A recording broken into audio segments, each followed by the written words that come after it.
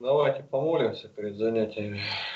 Царю небесный, утешителю души истины, и же везде и вся исполняй сокровище благих, и жизни подателю приди селися вны, и очистины от всякие скверны, и спаси блаже души наша. Господи, благослови наше занятие, не допусти нам уклониться ни направо, ни налево от истины. Хвала Тебе, честь и поклонение, Отец, Сын и Святой Дух. Аминь.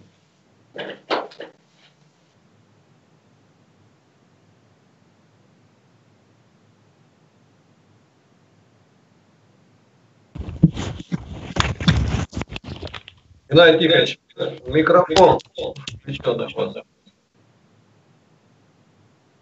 Сергей Павлович, позволь мне пару минут сказать что-то. Позволяю. Я тут сейчас не буду, может быть. Ну, я рядом здесь. Мне нужно дать объявление про этих американцев. Я его помещу здесь, на нашем чате. И кто может, помогите. Может, у кого кто-то в Америке есть с семьей 14 детей, приезжает он на Алтай. И что он ищет, это у нас бы мог найти. Все верующие. Я объявление сейчас скину, ну и вы там, где можете знакомым везде распространите. Найти его надо.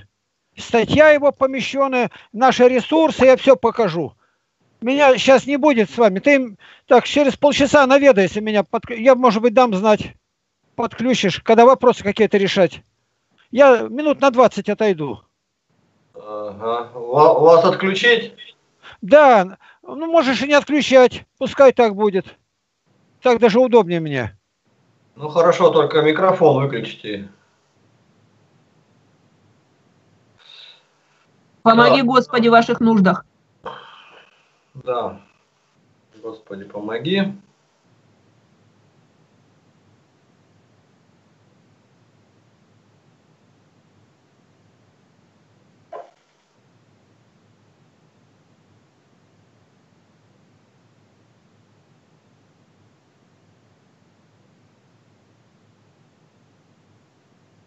Так.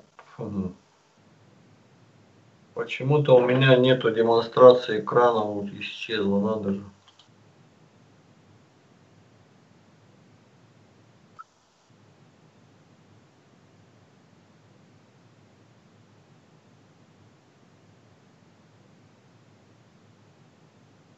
Да.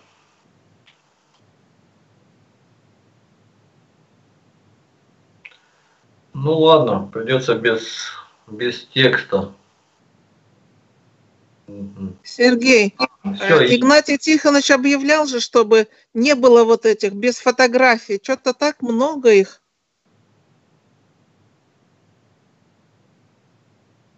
Так. Да, вот э, замечание. Э, Эд Ян просьба выставить свою фотографию. А кого много? Все. Остальные все с фотографиями. А вот Елена Езенкова еще цветы. Просьба тоже свою, свою фотографию выставить. Вот. Енафи Дробот, замечание. Платок, что поделал на аватарке. Христианка все-таки уже не первый год. Вот.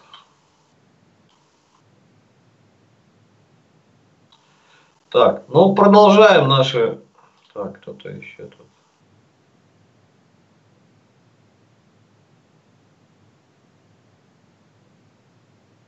Вот Игнатий Тихонович объявление вот это размещает, чтобы вам было понятно. Вот видите, это вот семья, Путин, православие, потенциал. Почему американец с 14 детьми переезжает на Алтай? Вот тоже мы покажем на нашем занятии. Отвлекаться не будем, читать не будем. Вот. По, с пояском, с бородой, вот тебе американец и жена как благочестиво выглядит.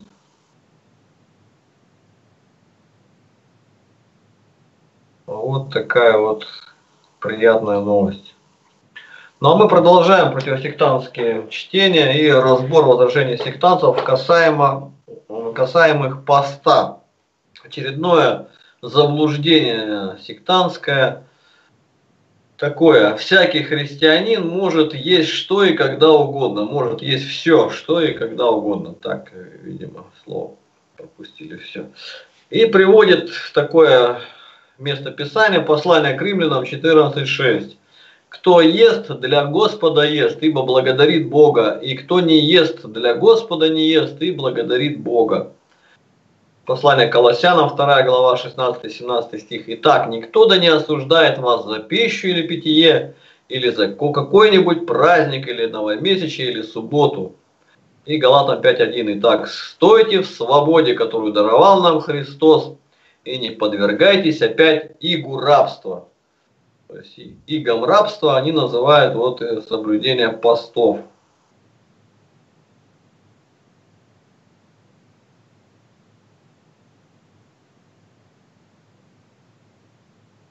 Так, ну и вот э, и как бы намекает, что никто вас за пищей и питье, нас, сектантов, пусть православные не осуждает. И вас, дорогие слушатели, они как бы обращаются к, к простодушным, вводят их в заблуждение, что Библия нам говорит, что посты не нужны. Однако это совершенно не так. И православный во свете Библии этот, этот вопрос должен разрешить вот таким вот образом.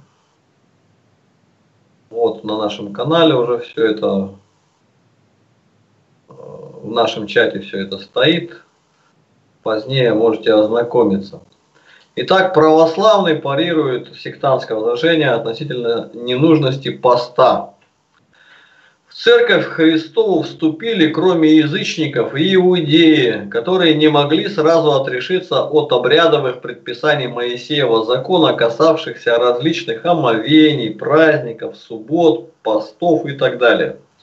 Христиане из язычников посчитали все чистым и что нет ничего в себе самом нечистого.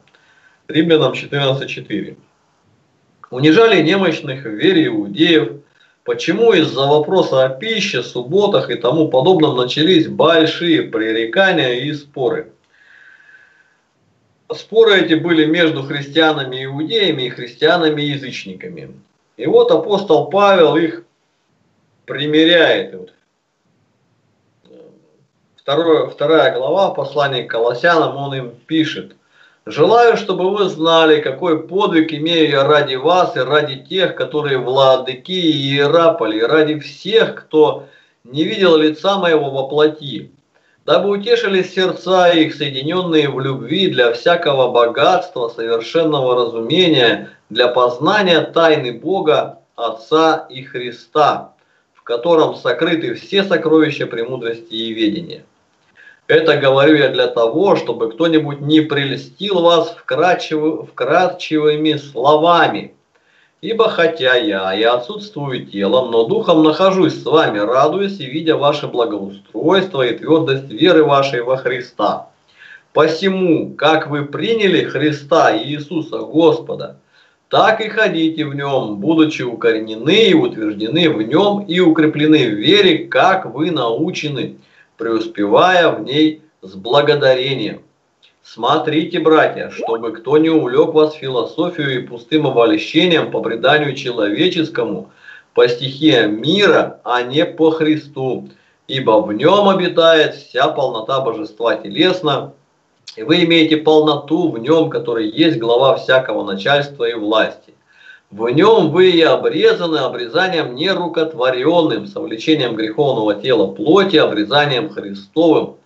Быв погребены с ним в крещении, в нем вы и совоскресли, верою в силу Бога, который воскресил его из мертвых, и вас, которые были мертвы во грехах, и в необрезании плоти вашей оживил вместе с ним, простив нам все грехи, истребив учением бывшее о нас рукописание, которое было против нас, и он взял его от среды и пригвоздил ко кресту, отняв силу у начальства и властей, властно подверг их позору, восторжествовав над ними собою. Итак, никто да не осуждает вас за пищу или питье, или за какой-нибудь праздник, или новомесячье, или субботу. То есть это есть тень будущего, а тело во Христе. Никто, не одобаль... Никто да не обольщает вас самовольным смиренномудрием и служением ангелов, вторгаясь в то, чего не видел, безрассудно надмеваясь плотским своим умом и не держась главы, от которой все тело составами и связями будет, будучи соединяемо и скрепляемо, растет возрастом Божьим. Итак, если вы со Христом умерли для стихии мира, то для чего вы, как живущие в мире, держитесь постановлений? Не, прикуса, не прикасайся, не вкушай, не дотрагивайся, что все истлевает от употребления по заповедям и учениям человеческим. Это имеет только вид мудрости в самовольном служении, смиренномудрии изнурении тела, в некотором небрежении о насыщении плоти. Решает вопрос об отношении христианства ко всему обрядовому закону вообще и к употреблению пищи в частности.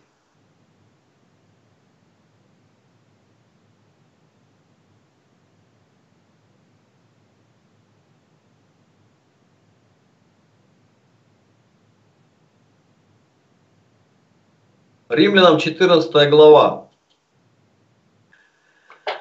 Немощного вере принимайте без споров о, мнениях, о мнениях, ибо иной уверен, что можно есть все, а немощный ест овощи. Кто ест, не уничижай того, кто не ест, и кто не ест, не осуждай того, кто ест, потому что Бог принял его. Кто ты, осуждающий чужого раба?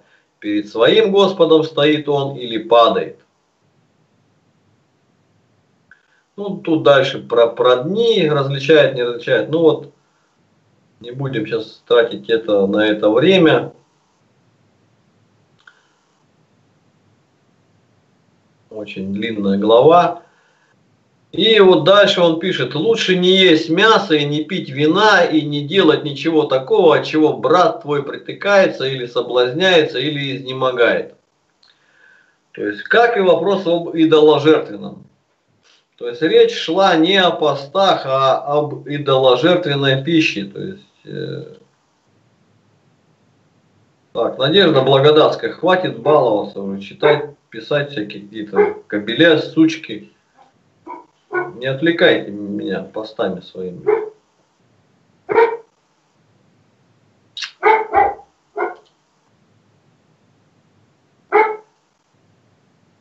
Апостол Павел не говорит здесь о ненужности христианских постов, а преподает учение о безразличии для спасения того или иного рода пищи и замечает, что если пища, например, мясо, соблазняет кого-либо, то, чтобы не погубить немощных, лучше не есть мясо никогда.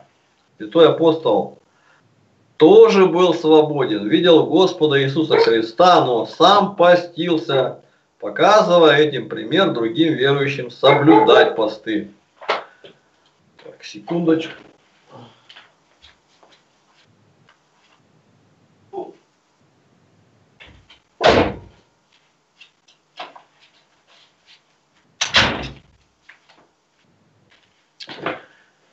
Первое Коринфянам 9.1. Не апостол ли я, не свободен ли я, не видел ли я Иисуса Христа Господа нашего, не мое ли дело вы в Господе? И 10.23. Все мне позволительно, но не все полезно. Все мне позволительно, но не все назидает. Вопросы?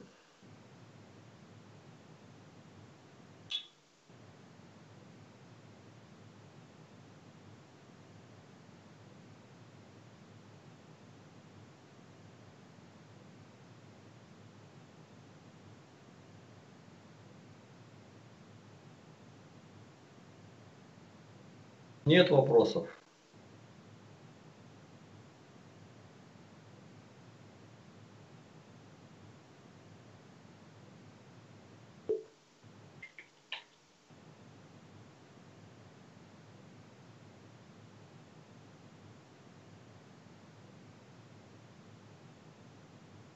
Следующее возражение. Заблуждение сектантское очередное. Они говорят, если поститься, то нужно определенное время не есть совсем ничего, а не делать различия в пище, не назначать известные дни или времена поста, например, среда, пятница, Успенский, Рождественский, Петров. Тем более, что для этого нет нигде в Писании никакого основания. И так отвечает православный на это возражение. Святая Церковь не возбраняет каждому отдельному христианину, постясь, не вкушать совсем. Но должен быть порядок, как говорит апостол, все должно быть благопристойно и чинно. 1 Коринфянам 14.40, потому что Бог не есть Бог неустройства, но Бог мира, то есть порядка. 2 Фессалоникийцам 2.15. Итак, братья, стойте и держите предание, которым вы научены, или словом, или посланием нашим. Матфея 18 глава, 17-18 стихи. Если же послушает их, скажи церкви, а если церкви не послушает, то да будет он тебе как язычник и мытарь. Истинно говорю вам, что вы свяжете на земле, то будет связано на небе, и что разрешите на земле, то будет разрешено на небе.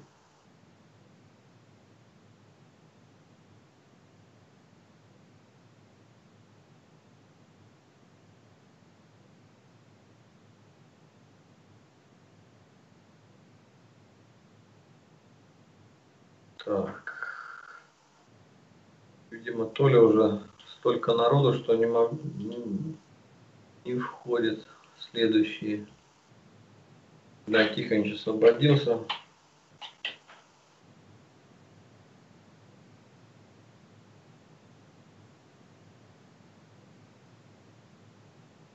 Добавляю в разговора.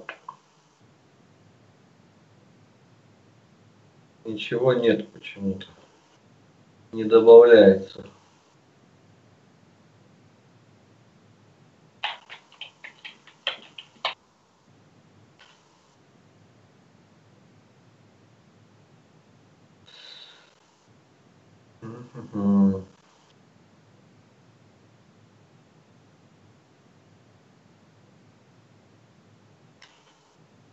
Так, может быть из-за того, что демонстрация экрана.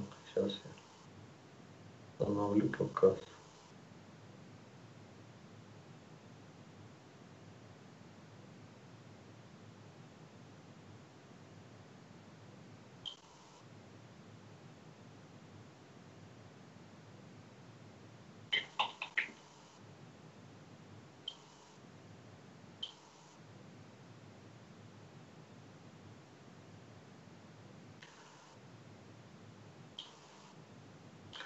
Неполадки какие-то.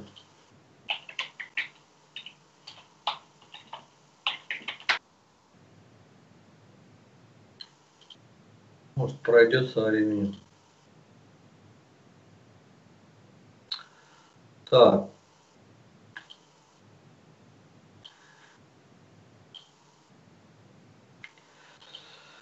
Но в Священном Писании есть указания как на различия, принимаемые во время поста пищи, так и на определенные, установленные для постов времена.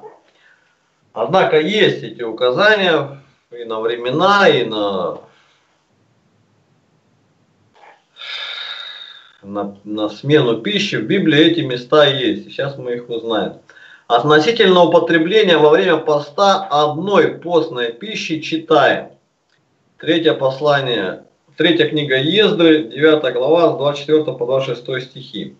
«Выйдешь на цветущее поле, где нет построенного дома, и станешь питаться только от полевых цветов, и не вкушать мясо, не пить вина, а только цветы. Молись ко Всевышнему непрестанно, и я приду и буду говорить с тобою.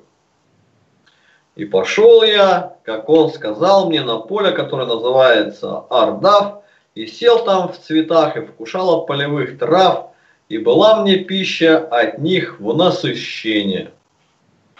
Вот. А сектант утверждает, что ничего подобного в Библии нет.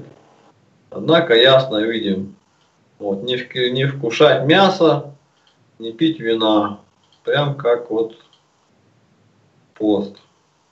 Только цветы, то есть растительную пищу. Дальше. Назареи не пили вина и крепких напитков. То есть тоже исключали именно вот из рациона. Тоже своего рода пост такой у них был. Значит, числа 6.14. И он принесет в жертву Господу одного однолетнего агнца без порока во всесожжение, и одну однолетнюю агницу без порока в жертву за грех, и одного овна без порока в жертву мирную. Вот. Совсем понятно, для чего этот стих. Судьи 19.4. Отец этой молодой женщины, увидев его, с радостью встретил его и удержал его тесть его, отец молодой женщины. И пробыл он у него три дня, а они ели и пили и ночевали там. Лука 1.15. Ибо он будет велик перед Господом, не будет пить вина и секера, и Духа Святого исполнится еще от чрева матери своей. Об Иоанне Крестителе речь.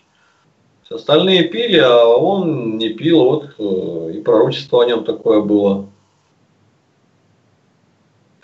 Исход 12.15. Семь дней ешьте пресный хлеб с самого первого дня, уничтожьте квасное в домах ваших, ибо кто будет есть квасное с первого дня до седьмого дня, душа та истреблена будет из среды Израиля. Вот и о днях тут уже в Священном Писании говорится об определенных. С первого дня до седьмого дня. То есть диктанты говорят, ничего этого нет. Римлянам 14.21. Лучше не есть мясо, не пить вина и не делать ничего такого, от чего брат твой притыкается или соблазняется, или изнемогает. Тоже разделение в пище мясо и вино выделяется. Сектанты говорят, если уж поститься, то вообще ничего, а все остальное это не пост. Пост, об этом на протяжении всей Библии идет вот это вот. 1 Коринфянам 8.13. И потому, если пища соблазняет брата моего, не буду есть мясо вовек, чтобы не соблазнить брата моего. Тоже о мясе речь, не обо всей пище. Вот. Относительно среды времени Христос был предан на мучение в пятницу, Лука 5.35, но придут дни, когда отнимется у них жених, и тогда будут поститься в те дни. То есть о пятнице речь. А в среду Иуда сделал предательство. И поэтому мы в среду и пятницу два дня в неделю постимся. Великий пост, подражание Христу, постившемуся 40 дней. Матфея 4, 4, 21. Оттуда, идя далее, увидел он других двух братьев Иакова Зеведеева и Иоанна, брата его, в лодке с Зеведеем отцовых, починивающих сети свои, и призвал их. 1 Петра 2.21. Ибо вы к тому призваны, потому что и Христос пострадал за вас, оставив нам пример, дабы мы шли по следам Его. Петров пост – подражание апостолам, которые, быв посланы Духом Святым, перед отправлением на проповедь постились. Деяния 13, 2, 3, когда они служили Господу и постились, Дух Святый сказал, отделите мне Варнаву и Саула на дело, которому, к которому я призвал их. Тогда они, совершив пост, и молитву, и возложив на них руки, отпустили их. 1 Коринфянам 4,16. «Посему умоляю вас, подражайте мне, как я Христу». Вот это вот, и мы подражаем Христу, вот этот вот э, строгий пост на Пасху. Далее, Успенский пост. Успенский от, от, от Успения, значит, слово. Успение – Усоп, говорят, не умер, а усоп. Значит, Евреям 13.7. Поминайте наставников ваших, которые проповедовали вам Слово Божие, и взирая на кончину их жизни, подражайте вере их. То есть братья эти усопли. И вот нам апостол Павел в послании евреям и говорит, подражайте их вере, значит, усопшим людям, вот этим вот. А они постились, вот и мы им подражаем, чего сектанты не делают. Далее, рождественский пост. Верующие подготовляют себя к встрече великого праздника, праздника Рождества Христова. И вот книга Деяний, 27 глава, с 8 по 12 стихи прочтем. Пробравшись, труд... Пробравшись же с трудом, мимо него прибыли к одному месту, называемому Хорошие пристани, близ которого был город Лассея. Но как прошло довольно времени, и плавание было уже опасно, потому что и пост уже прошел, то Павел сетовал, видите, о посте уже, постились, а, то Павел сетовал, а, говоря им, мужи, я вижу, что плавание будет затруднениями и с большим вредом, не только для груза и корабля, но и для нашей жизни. Но сотник более доверял кормчему и начальнику корабля, нежели словам Павла. А как пристань не была приспособлена к зимовке, то многие давали совет отправиться оттуда, чтобы, если можно, дойти до Финика, пристани Критской, лежащей против юго-западного и северо-западного ветра, и там перезимовать.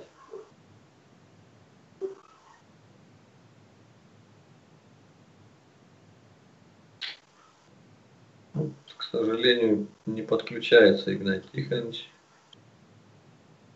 Надежда Благодатская. Что же такое случилось-то? Так, есть еще однодневные посты у православных. Э, это усекновение главы Иоанна Крестителя в этот день, пост 11 сентября, новый стиль. Воздвижение честного креста 27 сентября честь вспоминания страданий на кресте Спасителя мира. Относительно определенных сроков продолжительности поста есть указания. Читаем Левитам 16.29. «И да будет сие для вас вечным постановлением. В седьмой месяц, в десятый день месяца смиряйте души ваши, и никакого дела не делайте, ни туземец, ни пришлец, поселившийся между вами. Так, у кого-то микрофон включенный. Пос, посмотрите, не могу сейчас сказать у кого. Шумы идут. Старозаконие 8.3. Он смирял тебя, томил тебя голодом и питал тебя манною, которой не знал ты и не знали отцы твои, дабы показать тебе, что не одним хлебом живет человек, но всяким словом, исходящему из уст Господа, живет человек. Захария 8.19. Так говорит Господь Саваоф, пост четвертого месяца и пост пятого, и пост седьмого, и пост десятого соделается для дома Иудина радостью и веселым торжеством, только любите истину и мир. Деяние 13.3. Тогда они, совершив пост и молитву, и возложив на них руки, отпустили их. Деяние 27, 8, 9. Пробравшись же с трудом мимо него, прибыли к одному месту, называемому Хорошей пристани, близ которого был город Лассея. Так.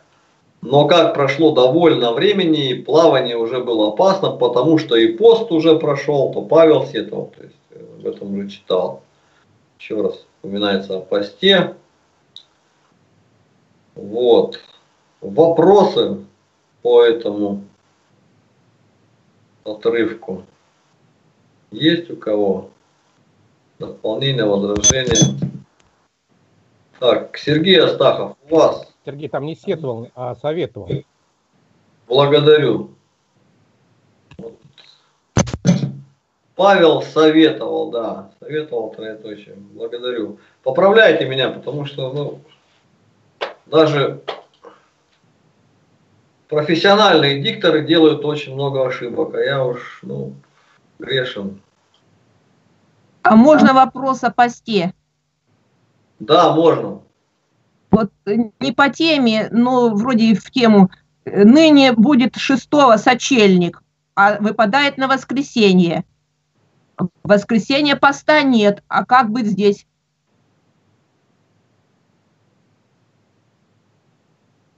Ну, воскресенье должно преобладать, я, думаю. Правильно, Игнатий Тихонович?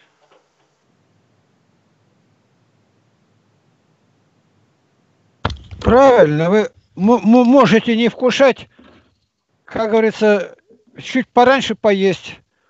Вот когда пост идет, а в это время у нас разрешается растительное масло, суббота-воскресенье, считается, поста уже нету. С растительным маслом что-то заранее поджарьте, подготовьтесь и по поешьте там, ну, часов 5-6 вечера. Вы выполнили то и другое. Все, благодарим. Так я выдал, выдал объявление, кто где находится ВКонтакте, всюду везде распространите объявление, чтобы помогите найти. Это нужно сделать очень быстро. Сделаем.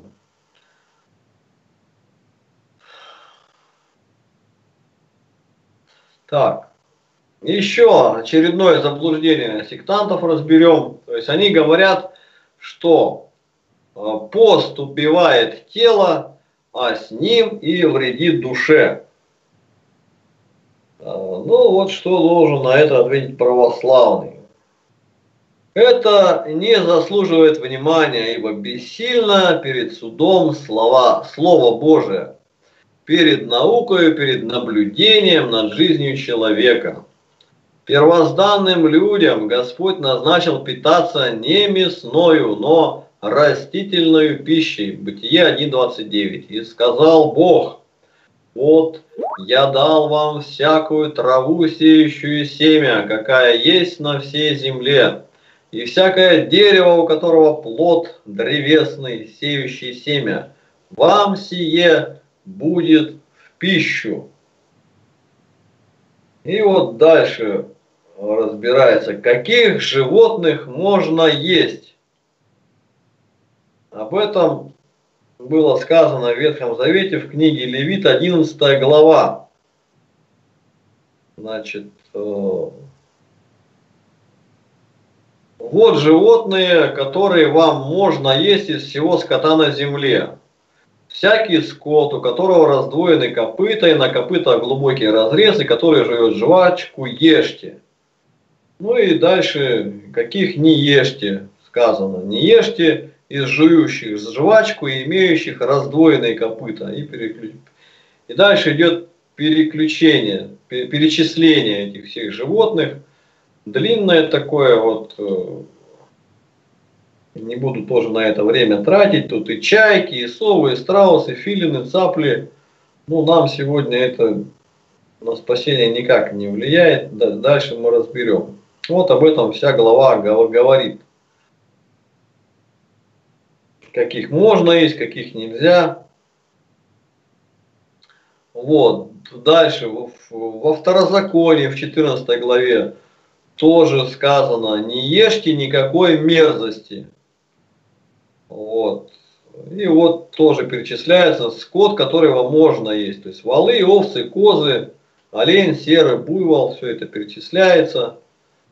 Вот. И каких не ешьте тоже. Верблюда, зайца, тушканчика все это вот тоже идет разделение на тех, которых можно есть, и тех, которых нельзя есть. И вот э, а иудейские христиане, они все это водержались и никак не могли от этого вот избавиться. И они сегодня, сегодняшние даже я знаю, есть старообрядцы христиане, которые вот им кролика они ни, ни, ни в жизни не съедят. То есть придерживаются вот этих иудейских а, обычаев, значит, вот, нечистое для них, зачатина ли. Далее, посты, узаконенные для Израиля. То время была вот книга Левит 16.29. И да будет сие для вас вечным постановлением. В седьмой месяц, десятый день месяца смиряйте души ваши, и никакого дела не делайте, ни туземец, ни пришелец, поселившийся между вами. Читали уже это, повторяйте, повторяется. Дальше. Во второзаконии также сказано в 8 главе 3 и 5 стихи. Он смирял себя, томил себя голодом и питал себя и питал тебя манную, которую не знал ты, не знали отцы твои, дабы показать тебе, что не одним хлебом живет человек, но всяким словом, исходящим из уст Господа живет человек. И знай в сердце твоем, что Господь Бог твой учит тебя, как человек учит сына своего. Вот о, о вот этих вот постах ветхозаветних было сказано в Библии. Вот, э, так что пусть сектанты не говорят, что о них ничего не говорится. Даже и о новозаветних постах давайте прочтем. Матфея 4.2 и постившись сорок дней и сорок ночей, напоследок взалкал. О ком это говорится? О Христе. Христос постился. О, Леша приехал, Устинов. Сало, наверное, привез. Так.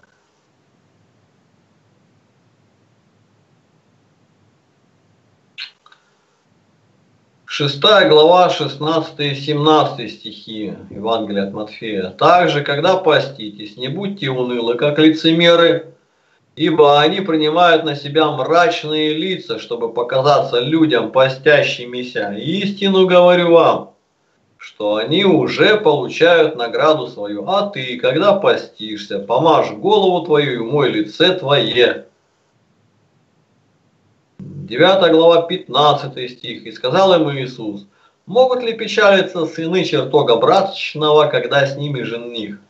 Но придут дни, когда отнимется у них жених, и тогда будут поститься». Будут поститься истинные христиане, а сектанты они не будут. Христос так сказал об учениках своих. Значит, сектанты, ученики Христова только на, на словах, а на деле ни, ничего. Деяния 13 глава, 1 по 3 стихи.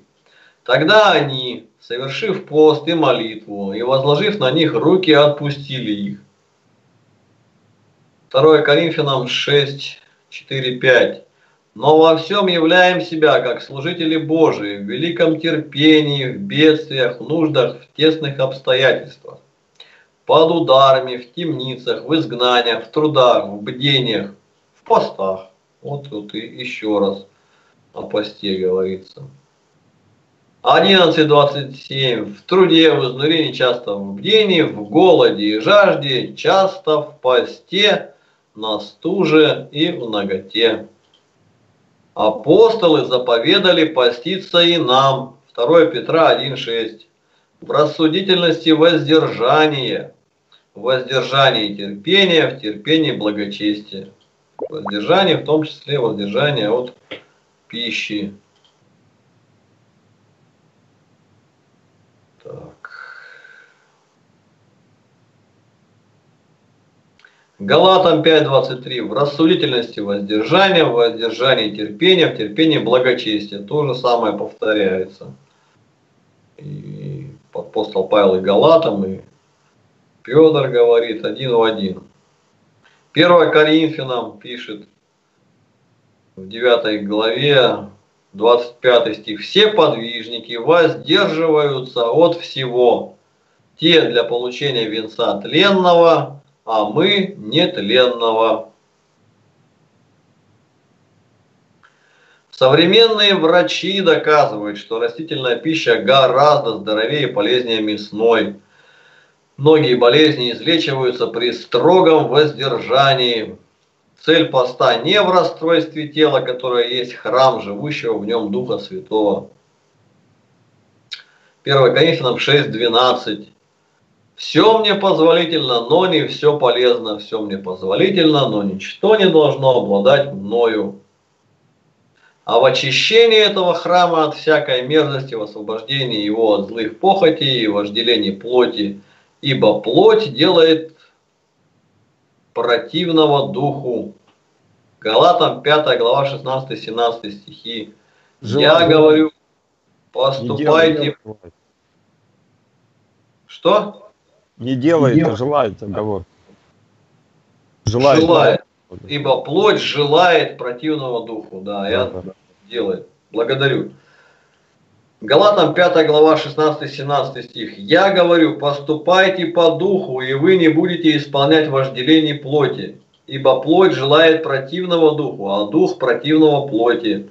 Они друг другу противятся, так что вы не то делаете, что хотели бы». Иакова 4.1. Откуда у вас вражды и распри? Не отсюда ли от вожделений ваших, воюющих членах ваших? Псалом 34.13. Я во время болезни их одевался во вретище, изнурял постом душу мою, и молитва моя возвращалась в недра мое. Далее цитата Василия Великого. «Изнурение тела приучает нас к победе над страстями». Впрочем, не так должно поступать с плотью, чтобы естественную ее силу расслабить и привести в совершенное бездействие воздержания, и чтобы от чрезмерного расслабления дошла она до невозможности следовать за умом. Вопросы? Это, это вот последнее, что зачитали. Это что означает, что не переусердствовать? Да. Не переусердствовать, да. То есть э, меру какую-то знать, что ли? Конечно. Конечно. Угу. У нас брат тоже попал в больницу, и врачи ему с колени у него заболели. И врачи говорят, у вас лишний вес. И он так усердно этот вес начал сгонять, что его пришлось оперировать. То есть пять дней не пел, не ел и еще одну болячку до, добавил. И То есть болеет, вот, да, тут именно переусердствовал. Тут написано, в общем, следовать за умом нужно в этой ситуации. Да. То есть э, те, бывает, что до ума помрачения, в обморок уже человек падает, и, и какой тут уже ум отключается. То есть его невозможно. Так себя истомил уже все. Да, правильно, не переусердствовать. А то, что пост полезен для здоровья, вот я перед вами живой э, пример и свидетель. У меня был диагноз лимфосаркома, онкологическое заболевание, и врачи мне строго-настрого запрещали поститься во время химиотерапии. Вот потому что была опасность лейкопении, это такая болезнь, от которой человек тоже умирает. Вот. Но я поверил брату, говорит, ты больной, тебе особенно нужно поститься. Я стал поститься, вот первый пост, строгий как раз был, я не ел мясо, не пил вина. Вот. И э, сдал анализы, и анализы были лучше, чем у здорового. Вот. И врачи меня спрашивают, удивленные такие, что вы принимали, какие препараты. Я говорю, я принимал молитву на ночь, утреннее, вечернее правило и постился. Вот они так заулыбались. И... Вот это я на себе испытал действительно. По вере вашей да будет вам. Я, я, главное, в это поверил. Поверил. То есть э, пост и молитва заменяют любые лекарства, получается? Если по вере, да. По вере, да. Ну и Христос-то, видите, он говорит, оружие против дьявола. -то. Болезни-то за грехи даются, скается Господу. А бесы, которые это вот мысли наталкивающие на грех, изгоняются только молитвой и постом. И то, и другое должно быть. Бесы тебя не искушают, грехов нету, и тело обновляется и исцеляется. Прежде нужно душу, конечно, врачевать. А как оно без поста и молитвы врачуется? Да никак. Сергей, а... можно задать вопрос? Да, да можно. Вот у нас в храме ходит молодая пара с младенцем. Ему 4 месяца младенца. У него уже в почках камешек. Как оно может взяться оттуда? И вот правило, как Правильно я понимаю, что это за грехи родителей у ребенка такое может быть? Да, в Писании есть такое, что Бог наказывает, предупреждает, потому что родители по-другому не, не, не понимают. А вот когда дитя начинает заболевать, вот, мама моя пришла к Господу, когда я заболел, очень по-другому она не понимала, не хотела бросать эту вот жизнь. Первый ребенок у них умер, второй вот так родился. Это точно наказание за что-то.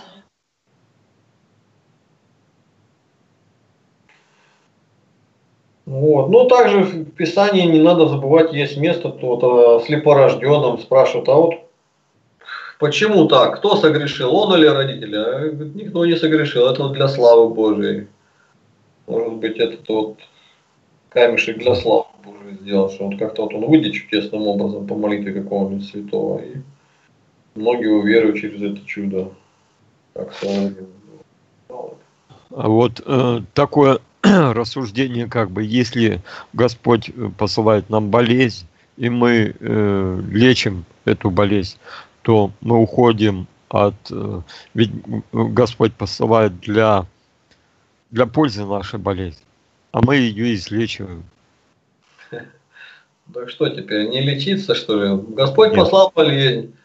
Болезнь э, не для того, чтобы болел, болел и болел. Ну, перестал грешить. Страдающий плотью перестает грешить. То есть он уже не может грешить, он понимает, о, а, добровольно не хотел оставлять грехи, а вот пришлось недобровольно.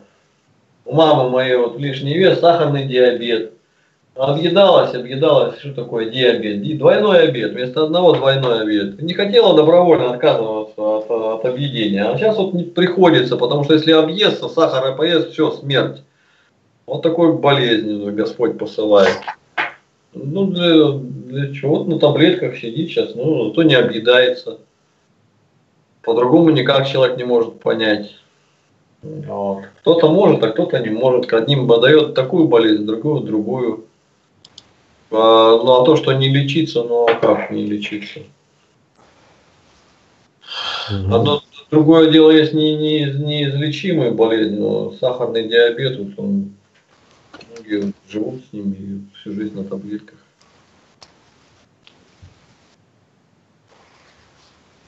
Еще вопрос. Сейчас пост идет, кто не знает, вот со следующей недели уже ры, рыба разрешается только суббота-воскресенье. Рыба уже вот с понедельника не, не, нельзя рыбу вкушать. И до, до Рождества, до 7 января. Так что те, кто еще не постится, вот возьмите. Лучше поздно, чем никогда. Испытайте это благо на себе. Просите у Бога помощи. Потому что самому тяжело. тяжело. И не думайте, как сектанты, что пища нас не удаляет и не приближает, что есть эти места, места Писания, мы сейчас их разбирали.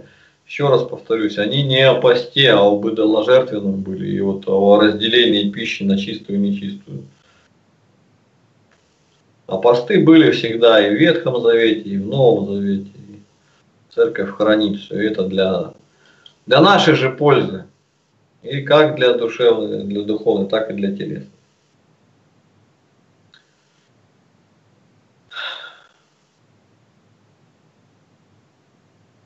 Так, ну что, еще у нас 8 минут есть, еще одно возражение начнем разбирать.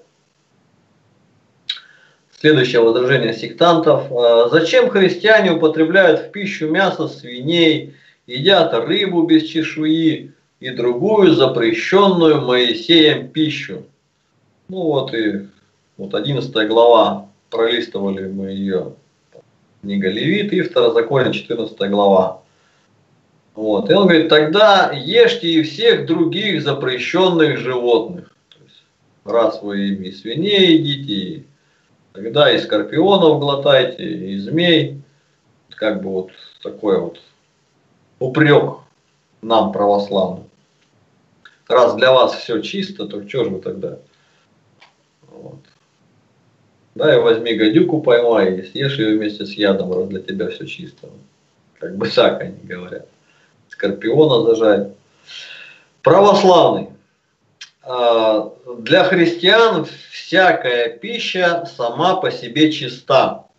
Да, это истина так, и об этом апостол Павел римлянам пишет в 14 главе 1-4 стих. Немощного вере принимайте без спора о мнениях, ибо иной уверен, что можно есть все, а немощный ест овощи. Кто ест, не уничижай того, кто не ест. И кто не ест, не осуждай того, кто ест, потому что Бог принял его. Кто ты, осуждающий чужого раба? Перед своим Господом стоит он или падает, и будет восставлен, ибо силен Бог восставить его. 1 Тимофею 4 глава со 2 по 5 стихи. Через лицемерие лжесловесников, сожженных совести своей, запрещающих вступать в брак и употреблять в пищу то, что Бог сотворил, дабы верные, познавшие истину, вкушали с благодарением. Ибо всякое творение Божие хорошо, и ничто не предосудительно, если принимается с благодарением – потому что освящается Словом Божиим и молитвою.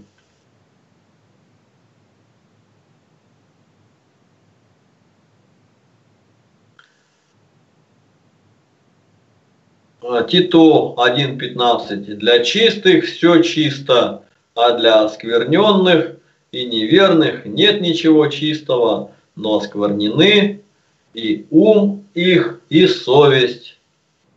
Закон Моисея о родах пищи потерял для нас, христиан, всякое значение, ибо мы уже не под законом, а под благодатью. Римлянам 6.14, Колоссянам 2 глава 16-17 стихи. Итак, никто да не осуждает вас за пищу или питье, или за какой-нибудь праздник, или новомесячный, или субботу. Это есть тень будущего, а тело – во Христе.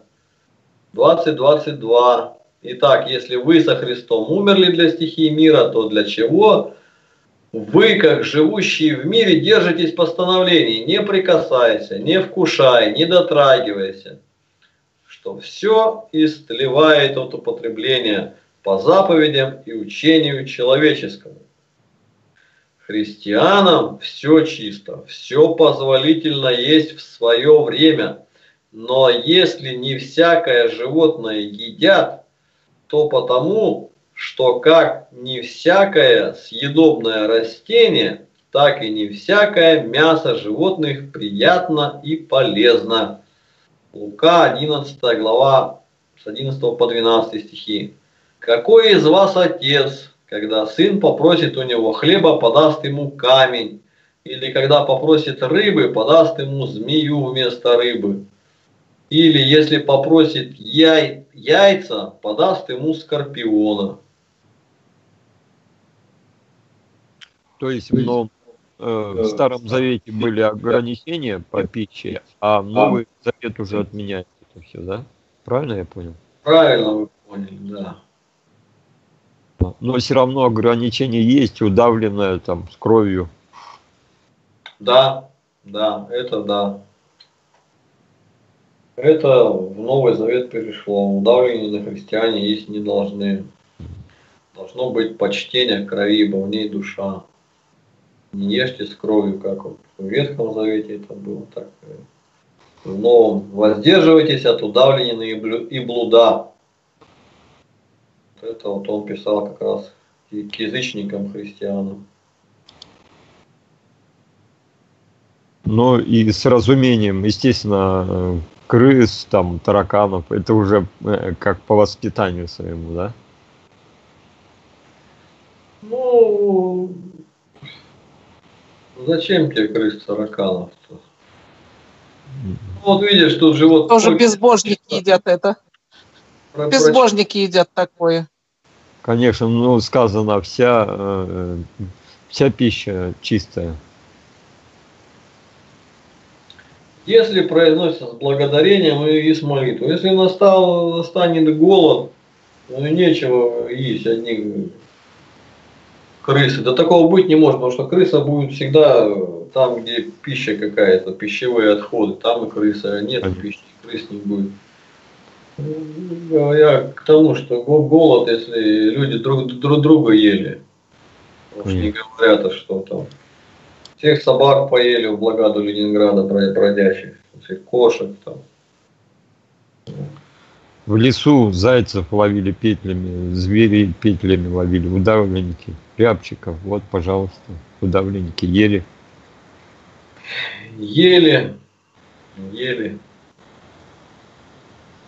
чтобы не умереть с голоду. Да. Она, они Христа тоже упрекали, а вот ученики твои ели там, колось это с поля рвали, чего не должно делать. Христос им парировал это все. Тоже надо с благоразумием подходить.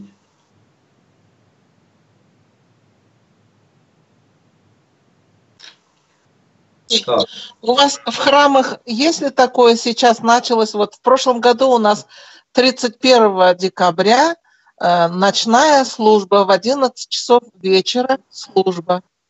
А я что-то не догадалась у батюшки спросить, это что, в честь Нового года? У вас такое есть, нет? Ой, да я не помню, да в, в храмах Московской Патриархии-то есть, они, они елку ставят и звезды лепят, что им? Вот оно кошмар, да? Богу Янусу покля... поклоняются, получается. Какому богу? Янусу. Янусу? Что это за бог такой? Ну, от Янус от, от начала январь. Янус, январь, богу января, да? Язычество. Да. Э, извините, выскажу предположение. Э, если есть такая возможность в церкви, когда служба идет 31 декабря в ночь, лучше пойти в церковь, э, на службе постоять, чем участвовать ну, в этом шабаше новогоднем, мирском, когда кругом, кто в жилом доме живет, много квартир, со всех сторон это, это пляски, крики, визги и все такое прочее.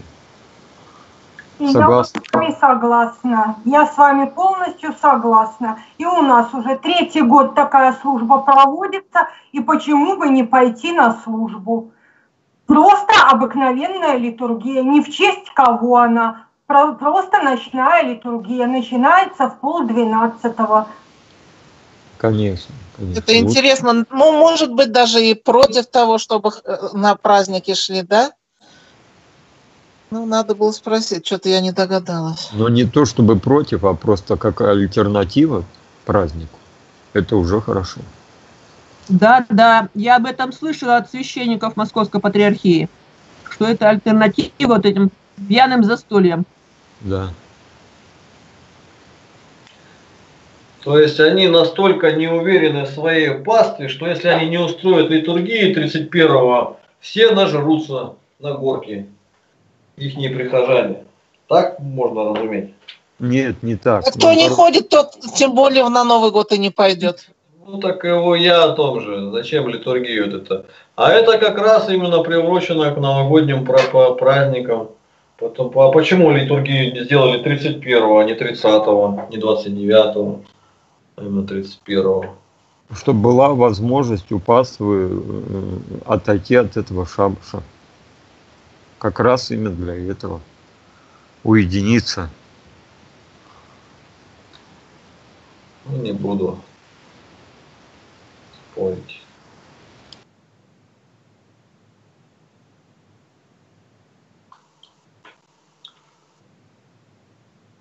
Так.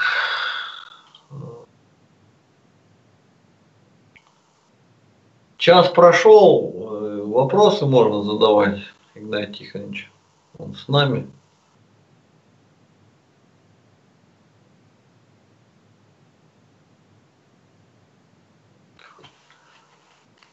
Очень хорошо слово Златоуста на Новый год.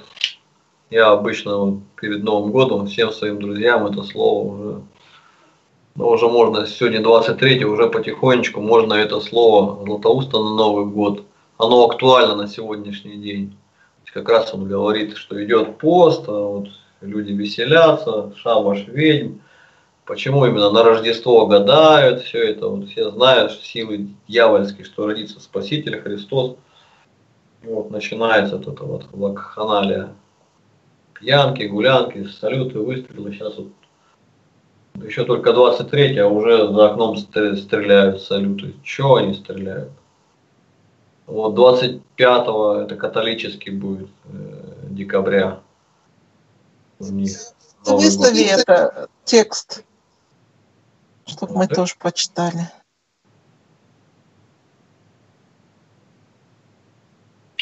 Я, э, я выставила ролик «Зверство в Китае». Что китайцы начали творить с христианами, с мусульманами, тюрьмах всех гноят Даже гости в Китай ездят, их ловят и вот заставляют становиться буддистами в невыносимых условиях. Не ездите в Китай никто лучше. Туда же ездят за развлечениями. Вот они получают свои развлечения. А, Сергей, разрешите задать вопрос? Там вот в чате написал. Ответьте, пожалуйста, если можно. Так, сейчас, секундочку.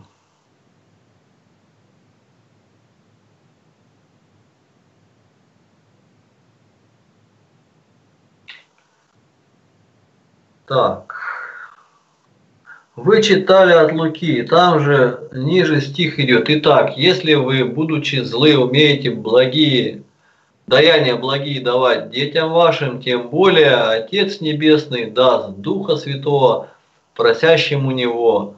Что значит Отец даст Духа Святого? Не нашел у Феофилакта толкования, как понимать эту фразу в стихе.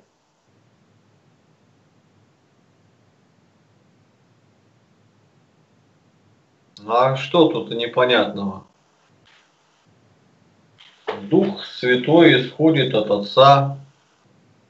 Вот я как почитал... Если... А, извините, извините. Ну давайте еще, хорошо, вопрос, давайте до конца. Что именно непонятно? Я открыл толкование Библии Оптина, там вот Лопухин пишет, что как бы благо – вот непонятно, тут говорится о третьей личности, то есть, или просто о благах каких-то, то есть благо ну, небесные, там, вот так вот, или более конкретно говорится вот как о Духе Святом, как о личности. Вот тут немного не понимаю. О, о, о Духе Святом, то есть человек у Бога выпрашивает Духа Святого, и он должен верить, что Отец ему этого Духа Святого даст. И приводится пример, почему, от, откуда такая вера. Вот если вы, будучи злы, умеете даяния благие давать детям вашим, то есть даже злой отец, он своему злому ребенку все равно там конфетку купит там, или там подарки там на Новый год, там, он дает. А тем более Отец Небесный даст вам, просите, и дано вам будет, стучите, и найдете, отворят вам. Это о Духе Святом говорится, что для нам, христиане, христианам, самое важное получить Духа Святого рождение свыше, еще это называется. Самое главное, кто Духа Христова не имеет, тот и не его. Не всякий, говорящий мне, Господи, Господи, войдет в Царство Небесное. Э, ну, правильно ли я понял? То есть мы как бы верим, что имеем, и как бы просим, чтобы пребывать как бы в Духе Святом. Да, чтобы Дух Святой вводил нас, чтобы Он нам внутри нас подсказывал нам, что такое хорошо, что такое плохо. Уже не, не в Библии мы вычитывали это, потому что Библия ее раньше э, ну, не, не было. Оно когда-то заповедей писанных вообще не было, но люди жили и как-то же они чувствовали, совесть у них была.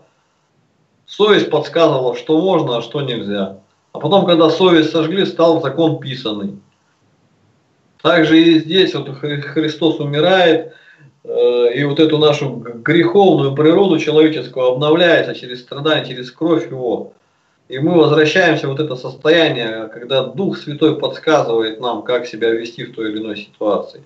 И оно описание говорит, уже не, на, не надо будет ни учителей, ничего, но сам Дух будет подсказывать. То есть вы сами внутренне будете понимать, совесть вас, вас будет э, говорить вас, Дух Святой, наставлять вас. Исследуйте самих себя, верили вы, то есть сами себя. Совесть ваша вас то осуждает, то оправдывает. А бессовестные люди, ему что, он, он не считает ни грехом, ни, ни, ни убийство, ни, ни прелюбодеяние, ни, ни, ни воровство. Все так живут. Что тут такого? Понял, благодарю. Слава Богу.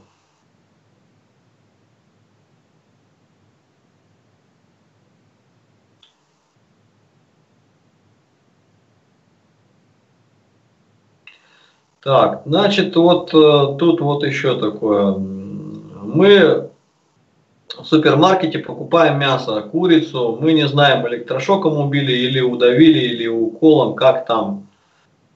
Мой муж работал тут на ферме, огромный ангар этих куриц ловили и ударяли об стены ангара. Это получается удавлен, удавленная вот. Меня тоже этот вопрос мучил, и у нас сестра, ныне покойная Анастасия Дробот, она работала на птицефабрике. Я ей говорю, там не удавлена ли? Она говорит, да, бьют сначала током, чтобы она не, не трепыхалась, курица, а как бы оглушает ее, но она не убивается. Она еще живая. А потом прокалывают ей шею и кровь выходит. То есть это не удавлено. А здесь бьют об ангар, э, я как? Если ее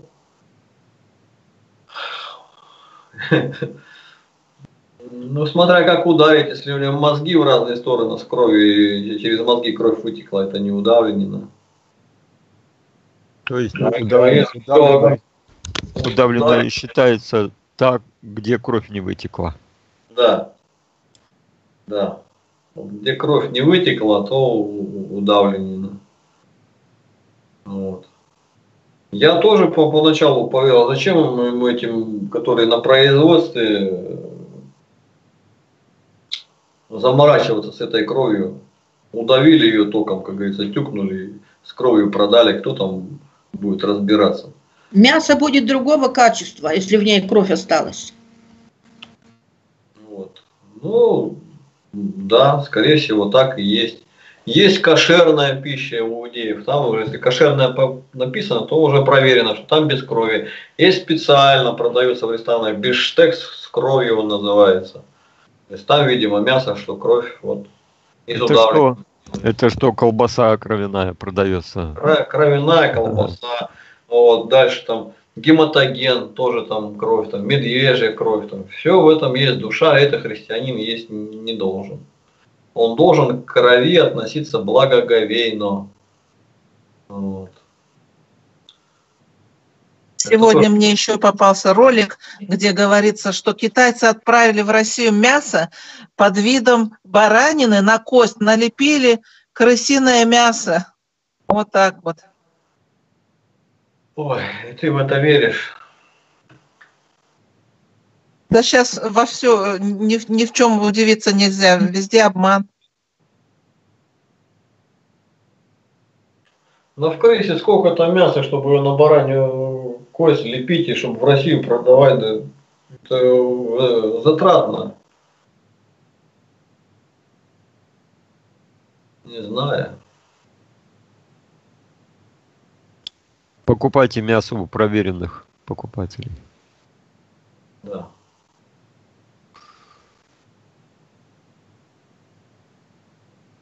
Да, вот и евреи хитрят, Наталья пишет. Говорят кошерное, продают не кошерное. Ну, Вот. Но э, в Писании сказано, то есть там не должны мы исследовать специально, там идоложертвенное, не кошерное, не кошерное, то придешь на базар и начнешь там всем, как говорится, мозги выколупывать. А у вас крови, а вы докажите, а покажите сертификат. То есть, ну, не знаю.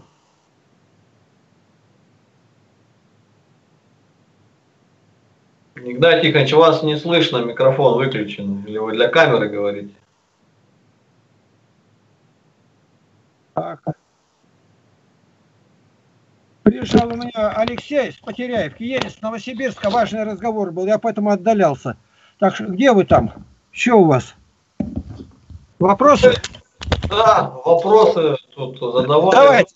Давайте, я, у кого есть возможность ВКонтакте, в Одноклассниках, в Фейсбуке, везде разместите наши объявления, чтобы на меня вышли.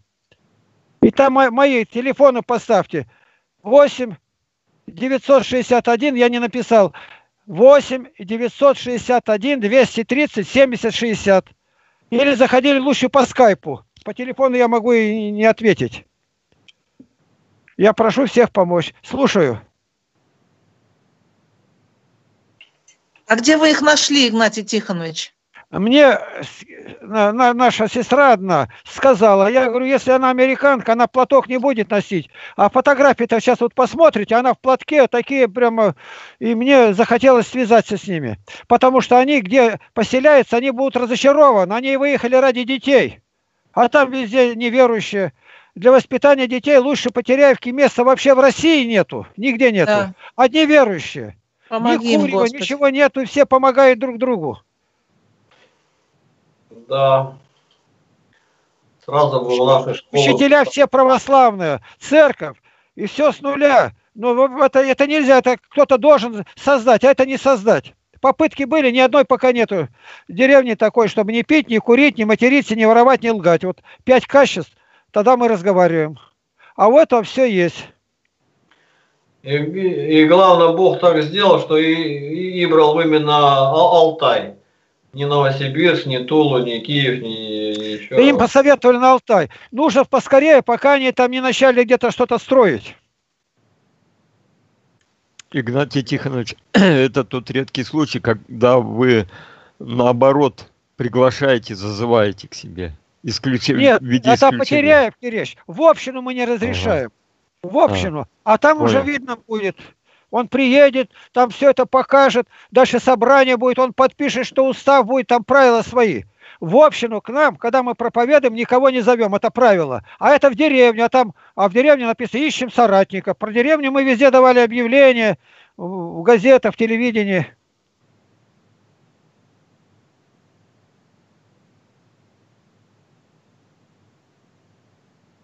Леша было, я записал все. Постараюсь сегодня снять и через день примерно поставить. Вы послушайте, где сейчас он был, о чем говорили. Вот везде столько у меня врагов конца нет. Вот сегодня утром выставили ролик и в Греции. Греция там размехулитель, там еретик, и этот приезжает с Новосибирска, там, говорит, такая большая группа людей, они когда-то знали меня. И вот сколько лет уже проходит, ну, ну, лет 40 с лишним, я там не был. Новое поколение. И у них, говорит, разговора никакого нет, только обо мне. Я говорю, вы еще в самом деле ничем не заняты. Я говорю, если они ко мне что-то имеют, пусть выскажут. Я желаю это знать. Написано, Согрешит, брат, выговори ему, приобрелся и покаялся. Нет, двоим-троим, и так дальше. А ты никакой. Я-то не знаю о вашем состоянии, но я молюсь, Господи, у меня много врагов, не помяни им безумие их лжи в судный день. Дай им, Господи, прозрение. Но хорошо то, что они пока на мне, тогда они в другом месте зло не могут делать. Они мной заняты.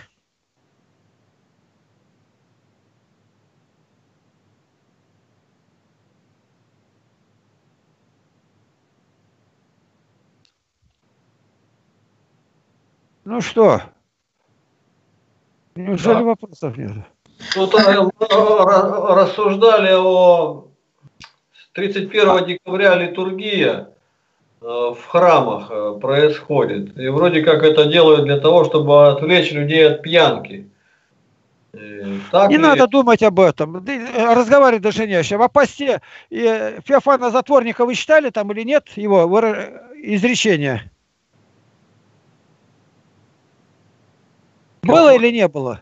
Затворника не было. А у Василия Великого было. А Феофана Затворника не было. Не дошли Он, еще. он говорит, причины четыре, которые люди не хотят поститься. И говорят, ну какая там нужна, когда надо, я сам попощусь, не с церковью, как посты назначены. В другое место для здоровья вредит. И он показывает на все. Единственная причина одна, не хочу. Больше, говорит, не остается никакой. А вот когда умрешь, и тебя дьявол потащит в ад, бесы, хочешь, не хочешь, а пойдешь. Вот и весь ответ. Потому что постом и молитвой изгоняются демоны. Духи злые.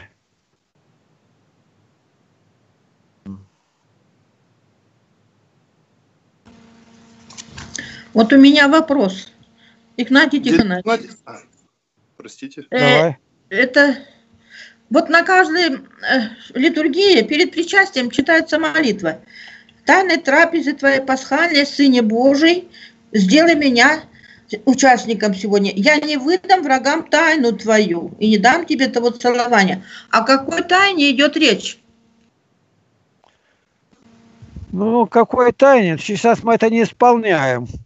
Это о причастии с неверующим, когда говоришь, ему не рассказывай, что здесь совершается присуществление тел, э, хлеба в тело, а вина в кровь. Чтобы мы это куда не надо не говорили людям. Когда там, ну, такой момент бывает, что ты видишь, что он хулит, а ты ему в это время сказал. Это тайны называется. Когда я Златоуст гов- говорил проповедь, а были оглашенные, и он добавлял, верные знают, о чем я говорю. Они понимали это буквально. А как понимать буквально, как тайна, когда все везде напечатано? Для меня это не совсем понятно. Видимо, в то время была такая обстановка, сильно за это преследовали. А, вы вот такое, каннибалством занимаетесь, едите тело и кровь, вы кровопивцы, ну и такое, видимо. Что-то там такое было. А сейчас Евангелие бери, считай шестую главу Евангелия от Иоанна, и там все написано. Прямо говорит, кто не пьет крови и не ест плоти, не будет иметь участия со мной в жизни. Ну, так что именно об этом говорится. Понятно, спаси Христос. Слава Иисусу. Видите, православным быть легко, не надо умничать. Все сказано. Да я думал, я говорю, думать-то не надо. Надо готовое взять, запомнить и поблагодарить Бога. Вот и все. Дядя Игнатий, мир Да, вам. Василий, слушаю. Слышно, видно? Видно и слышно. А, В общем, смотрите, Стив Митчелл искал его в интернете, что-то никаких координат не нашел, но прочитал статью, что он э, приезжал сюда на Алтай к Джастасу Волкеру. Вы знаете такого видеоблогера Джастас Волкер? Не знаю. Это тоже, тоже человек переехал с Америки на Алтай живет он. который смеется все время, веселый. Веселый молочник его называют. Ну, Вот он в Красноярском крае был, потом сюда переехал. Да, да, да, да, да. Я читал, Оказывается- читал про него. Оказывается, Стив Митчелл к нему приезжал в гости, ну, как бы спрашивал, что как.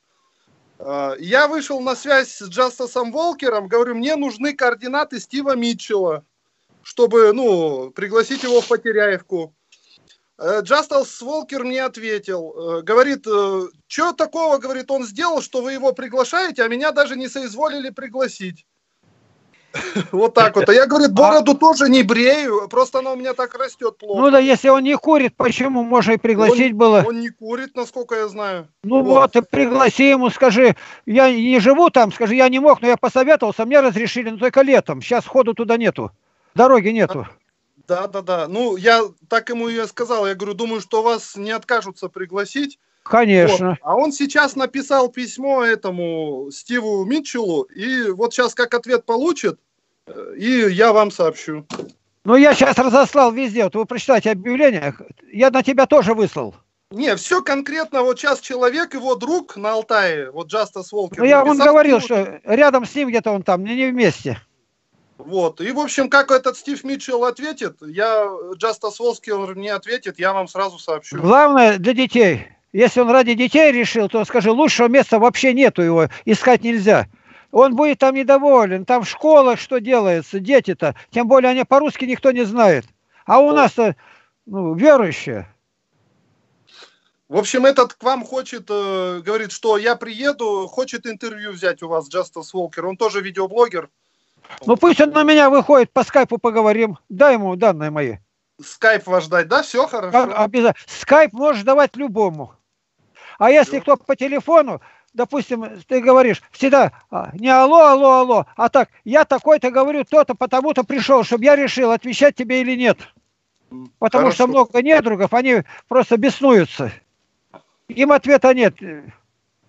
Хорошо, хорошо. Я сейчас ему тогда дам э, координаты. Да, пусть- да, да, да. И, и ты, я тебе могу даже сразу скинуть, в какие часы можно к нам заходить, какой порядок, когда я приму.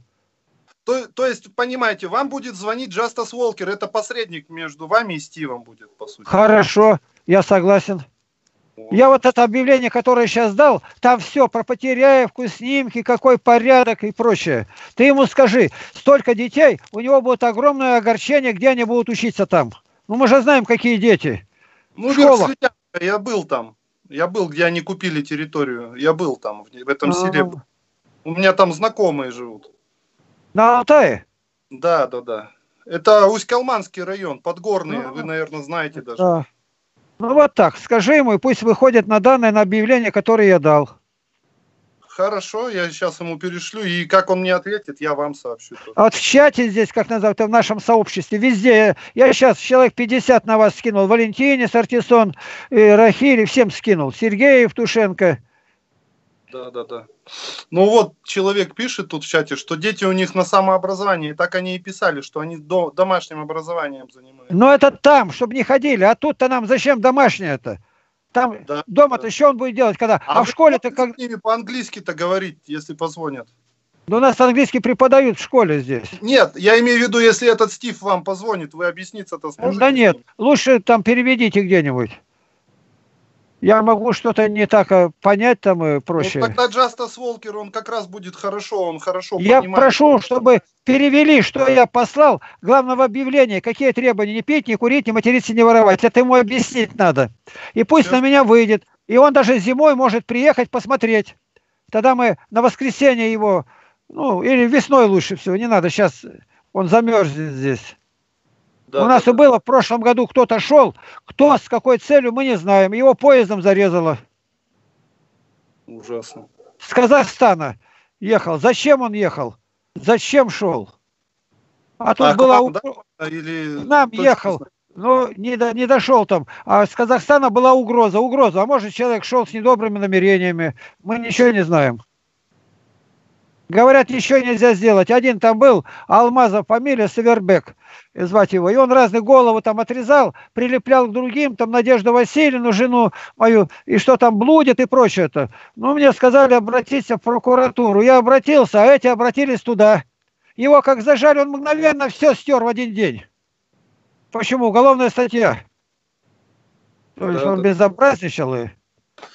Все, в общем, нашли вам этого человека. Сейчас, если он э, согласится, то он вам и ответит сразу. Да, и прямо перевести ему, что, что нужно. Я дал, скажу, все материалы, там картинки, то он поймет, как в деревне, дома, как отдыхают, как скотину продают, как что. Ты все там будешь иметь. Прекрасное пастбище, прекрасная вода. Мы пруды сколько запрудили, это прудов-то сейчас у нас Бог дал. Да, да, да. Ну, дело в том, что они уже купили территорию 270. Это ничего не значит. Он приехал не для того, чтобы покупить. Где как купил, там и продал. А что купил, там это я не знаю, правда или неправда. Земля-то не продажная. Просто надо платить налог и все. Дума не проголосовала за продажу. Так как он мог купить? Ну, я У не него знаю, написано так, что купили. Гражданство у него принято, не принято, вопрос стоит. Да. Хорошо, же- хорошо, Он все. занимается, он занимается сыроделием. А Ну, сырье для сыра самое пригодное из предгорных районов. Поэтому он, видимо, и перебирается туда. Ну, не знаю, мы даже знать, дать знать о себе, больше ничего Ромашки нету. Что из по- районов для сыроделия не подходит. Хорошо, хорошо. Все тогда, спаси Христос. Вот такая Да. информация. Скажи, все православные, у нас церковь есть и, и прочее. Для детей лучшего места тебе не найти. Он приехал ради детей. Да. Не ради заработка. Там у него и темнокожие дети, смотрю, есть. Я, да, Приемные. это приемная 7, что ли, у него. Ну, все, наверное, сегодня. Все, спаси Христос, дядя Игнатий. Аллилуйя. Помогите все распространите. И на меня выйдите. С Богом. Всё. Давайте, молись. Сергей.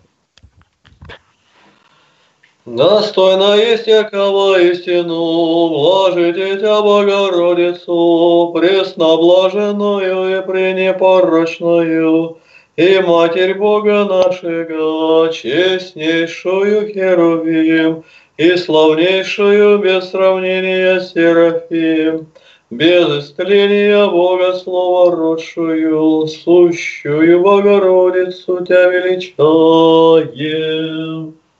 Молитесь, Игнатий Тихонович. Милосердный Создатель, любящий наш Отец Небесный, мы предстали перед Тобою воздать хвалу за все милости, которыми Ты окружил нас. Слава Тебе! О чем мы рассуждали, все устрой по воле Твоей святой. И умещи сердца враждующих. Будь милостив к ним. И прости нас, чем мы послужили соблазном. Будь милостив ко мне грешному. И что не по воле Твоей сделано днем или ночью, в уме и в помышлении, и от юности – пощади, омой все кровью Твоей пречистой. Тебе слава за все, Отец, Сын и Святой Дух. Аминь. Аминь. Спасибо. Мир вам. Игнатий Тихонович, это Да. Роман беспокоит. Вы уже сняли, а я хотел вот спросить. Ну, говори. А, Говори. ну, то, что вот уже много дней, много раз уже вот один и тот же вопрос, и как вы говорите, я долблю, а все равно вопросы мне поступают, и потом и споры какие-то возникают зачем-то, не знаю, зачем со мной спорить. Вот, и на вас ссылаются, что якобы благовествовать нужно только тогда, когда ты, у тебя много знаний. Хотя вся Библия, все Евангелие говорит, что нужно всегда благовествовать. И когда есть знания, и когда нет знаний. Вот. Ну, ну, ну, что на это сказать? Познанием и поступай. Ты узнал, что Христос умер за тебя. Вот это теперь говори. А на следующий день ты узнал, что не все войдут в рай. Дальше продолжай об этом говорить. По мере, как наполняет тебя Господь, по такой мере пусть из тебя животворная вода течет. Да. Спаси Христос. Да, так что не надо ждать, когда ты 10 классов университет кончишь. А сходил один раз в первом классе, и уже ты узнал. И вот это говорят то, что ты узнал. Ну, конечно, скорость разная. Я когда Евангелие получил, Библию, через три месяца, кажется, с половиной, я уже стоял на кафедре, проповедовал у баптистов. Уже Библия мне была известна. А я первый раз ее увидал. У меня большая ревность была. Вот вообрази такое, э, на воскресный день, ну чем занимаюсь? А мне 23 года. Я ушел в лес, чтобы никто не мешал с Библией. Наступил вечер, чтобы туда-сюда не ходить, я далеко забрел. Я залез, нашел березу, у нее сучки крепкие, свил гнездо, как шимпанзе, обнял березу и там спал. Утром проснулся, а распадок, э, низина, и там туман, и я с Библией в обнимку на березе. Я вот сегодня говорил, у кого есть какая-то связь с какими-нибудь режиссерами, только такой хороший, как Никита Михалков, и чтобы мое стихотворение, пример к себе своим воображением, я давал его, могу еще раз скинуть, и по нему, по каждой строчке поставить как бы фильм этот, сколько претерпеть пришлось. Я начинаю. Я с Моисеем на своей вершине в последний раз смотрю из-под руки. Враги с собаками, с биноклями в машине. Мой след вынюхивает у кустов реки. Моя погоня гнались до упаду. Я отошел, не достигаем вам. Прощай, земля, азарт, закон ограда. Мой труд, следы, считайте по слогам. Я успевал на каждом повороте засеять поле, застолбить межу со Златоустом путь житийный пройден, с той стороны земли на все гляжу. Она, там 9 куплетов, и вот по куплетам это вся режиссура здесь, как бы это составить? Это целый фильм был бы. И не надо никаких артистов, я живой. Вот если у кого есть какая-то, тоже мы можем эту тему разработать. Я раньше участник был четырех фильмов. Вот «Предчувствие» сняли. Он занял первое место на международном киноконкурсе. Златоуст из Потеряевки первое место в России среди документальных фильмов о православии. Еще было второе крещение Руси и преображение. Я не артист, и нигде роль артистов не играл, а просто я сегодня на собрании об этом говорил. Все пока.